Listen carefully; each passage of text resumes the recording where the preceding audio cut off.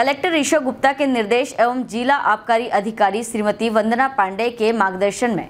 बागली अनुविभाग अंतर्गत लगातार अवैध शराब विक्रेताओं के खिलाफ सहायक जिला आबकारी अधिकारी दिलीप कनासे के नेतृत्व में कार्यवाही की जा रही है। इसी के चलते सोमवार देर रात्रि को मुखबिर की सूचना के आधार पर उदयनगर के ग्राम जमा सिंध में मदन भार्गव के मकान से सात पेटी विस्की एवं पाँच पेटी देशी शराब जब्त की गई जो आरोपी द्वारा अवैध रूप से संग्रह कर रखी हुई थी।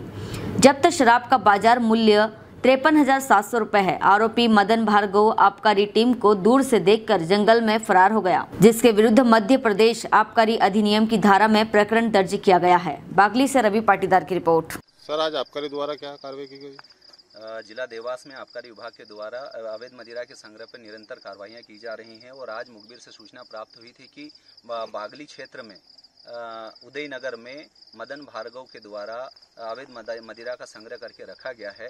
तो हमारी पूरी टीम के द्वारा वहाँ दबिश दी गई और कुल 12 पेटियाँ हमको वहाँ बरामद हुई और मदन भार्गव वहाँ जंगल में फरार हो गया और हमने वहाँ पर मध्य प्रदेश आबकारी अधिनियम के तहत चौंतीस दो के तहत प्रकरण पंजीबद्ध किया और अनुसंधान में लिया गया है और आगे भविष्य में भी ये कार्रवाइयाँ निरंतर जारी रहेंगी और फरार आरोपी को जल्दी गिरफ़्तार करने का हमारे द्वारा प्रयास किया जाएगा।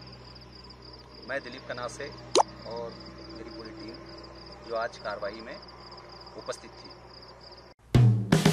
हेलो फ्रेंड्स आप देख रहे हैं हमारा channel S W twenty four news हमारे सारे वीडियो सबसे पहले देखने के लिए आप हमारे चैनल को सब्सक्राइब करें और पास में लगे बेल आइकन को दबाना बिल्कुल भी ना भूलें।